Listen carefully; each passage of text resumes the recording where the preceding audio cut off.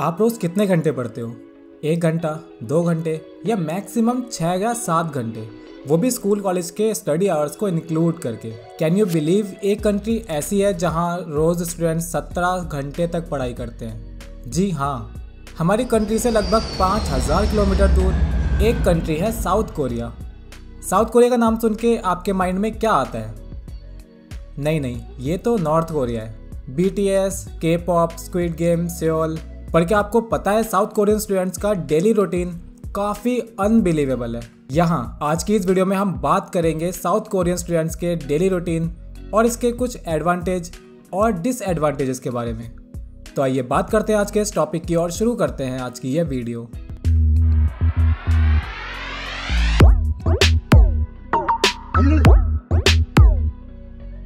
Education system की बात होती है। तो साउथ कोरिया बाकी कंट्री से काफ़ी आगे रहता है। वर्ल्ड की टॉप एजुकेशन रैंकिंग्स में भी साउथ कोरिया हमेशा से ही टॉप पोजीशंस में रहा है। यहाँ का लिटरेसी स्कोर भी लगभग सौ के आसपास है। इट्स नो सरप्राइज़ कि most of the students from all over the world South Korea को अपनी फेवरेट स्टडी डेस्टिनेशन की तरह देखते हैं। और पीएचडी स्कॉलर्स के बीच में भी साउथ कोरिया काफ़ी पॉपुलर रहा है। साउथ कोरिया में एजुकेशन को एजुकेशन नहीं बल्कि एक ऑब्सेशन की तरह देखा जाता है।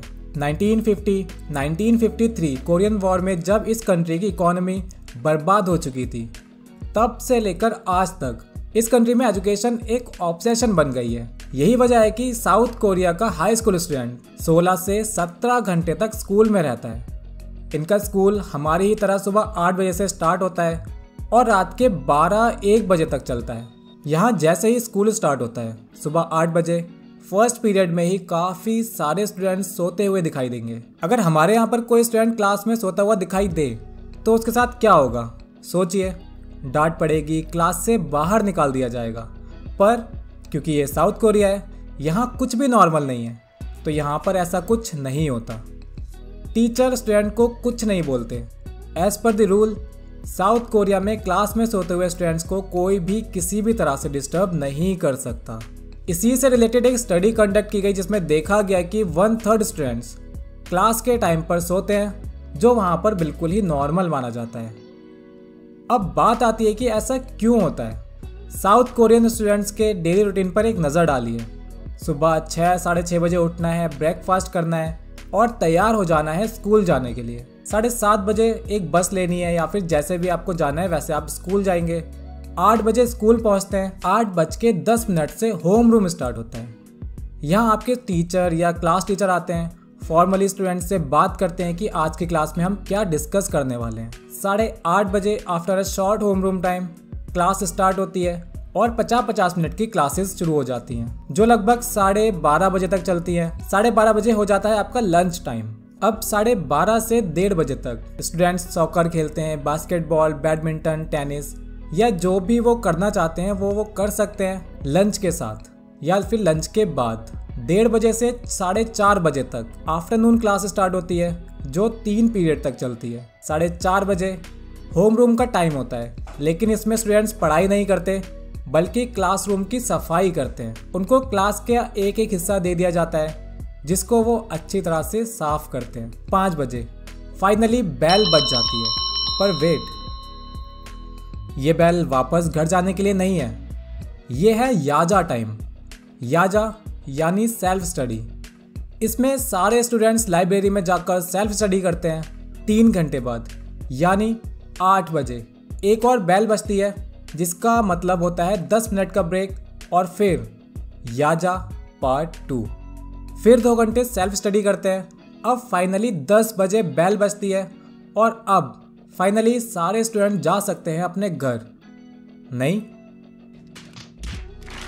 इस बैल का मतलब होता है, या द टाइम ओवर अब वो कहाँ जाते हैं, ये आपको बताएँगे, पर उससे पहले जान लेते हैं कि क्यों साउथ कोरिया में स्टूडेंट्स पर इतना जुल्म किया जाता है। क्यों वहाँ के स्टूडेंट्स इतनी ज़्यादा पढ़ाई करते हैं? इस कठोर तपस्या के पीछे का रीज़न है सन यंग एग्ज़ाम यही वो एग्ज़ाम है जिसकी प्रिपरेशन बचपन से ही सारे स्टूडेंट्स करते हैं। It's like CSAT for them इस एग्ज़ाम की इंपॉर्टेंस साउथ कोरिया में इतनी ज़्यादा है कि इस दिन साउथ कोरिया से कोई भी फ़्लाइट नहीं जाती सारे रोड पर पुलिस पेट्रोलिंग करती है। बहुत ज़्यादा सिक्योरिटी रहती है और पूरी तरह से साइलेंस मेंटेन किया जाता है।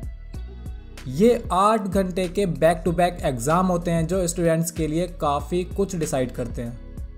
लाइक like, वो कौन सी यूनिवर्सिटी में एडमिशन लेंगे? उनकी जॉब प्रोस्पेक्ट उनकी इनकम फ्यूचर और भी बहुत कुछ। एक स्टूडेंट जिसने अपनी स्टार्टिंग की पढ़ाई साउथ कोरिया में की है और फ़िलहाल वो कैलिफ़ोर्निया में सेटल हो चुकी है। उससे बात करने पर पता लगा कि साउथ कोरिया में टॉप यूनिवर्सिटीज़ में एडमिशन लेने के लिए स्टूडेंट्स पर उनके पेरेंट्स और सोसाइटी का बहुत ज़्यादा प्रेशर रहता है। सभी पेरेंट्स चाहते हैं कि उनके बच्चे S N U Korea university, Yonsei university जैसी टॉप यूनिवर्सिटी में एडमिशन लें, जिस वजह से वहाँ का कंपटीशन बहुत ज़्यादा हाई रहता है। इसी वजह से इतनी कम एज से ही उन्हें ज़्यादा से ज़्यादा हार्डवर्क करके ट्रेन किया जाता है। इससे पहले हम बात कर रहे थे कि याजा टू के बाद रात के 10 बजे बैल बजने पर बच्चे अपने घर नहीं जाते तो आखिर जाते कहाँ हैं? ये बच्चे जाते हैं आफ्टर स्कूल क्लासेस जिन्हें कहा जाता है हॉगवन स्कूल ये एक तरह की प्राइवेट ट्यूशन होती है, जो रात में 10 बजे से साढ़े बारह या फिर एक बजे तक चलती है। ये प्राइवेट ट्यूशन्स इतनी एक्सपेंसिव होती है कि half of the monthly earning इसी में चली जाती है वहाँ के पेरेंट्स की। स्टूडेंट्स पर इतना सारा प्रेशर हो जाता है, उसके बाद जब ये एग्ज़ाम हो जाता है तो वहाँ के स्टूडेंट्स अपना स्ट्रेस रिलीव करने के लिए जो करते हैं, उसका आप अंदाज़ा भी नहीं लगा सकते। वो सारे स्टूडेंट्स अपनी सारी बुक्स को फाड़ कर लिटरली फाड़ कर हवा में उड़ा देते हैं। ये काफ़ी ज़्यादा वेयर्ड बात है। ओके अब मान लीजिए कि आप एक साउथ कोरियन हैं। आपने एग्ज़ाम भी क्रैक किया, अच्छी यूनिवर्सिटी में एडमिशन भी मिल गया, वहाँ भी अच्छे मार्क्स के साथ डिग्री कंप्लीट कर ली। इसके बाद जब बात आती है जॉब की तो आपके पेरेंट्स आपको ढेर सारा पैसा देते हैं प्लास्टिक सर्जरी कराने के लिए। क्यों? क्योंकि साउथ कोरिया में टैलेंटेड लोगों से ज़्यादा गुड लुकिंग लोगों को प्रेफरेंस दी जाती है हर जॉब हर प्रोफेशन में। इसी वजह से अब साउथ कोरिया में ब्लाइंड इंटरव्यू का रूल बना दिया गया है, जिससे लोगों को प्लास्टिक सर्जरी करवाने की ज़रूरत ना पड़े। ब्लाइंड इंटरव्यू में बिना कैंडिडेट का फेस देखे, बिना फ़ोटो देखे उसकी आवाज़ सुनकर उसे एक्सेप्ट या रिजेक्ट किया जाता है।